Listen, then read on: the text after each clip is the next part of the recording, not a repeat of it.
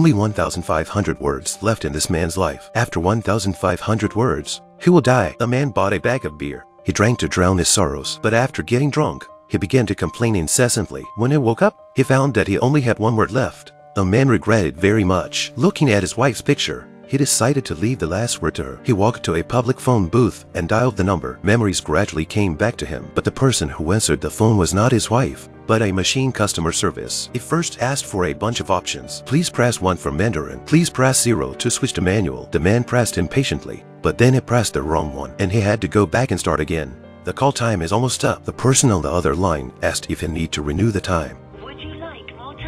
The last word of a man's life was said to customer service. Looking back on his life of 1500 word, he is always venting of emotions is chattering in the expression of love but shy of words. Perhaps he represents the majority of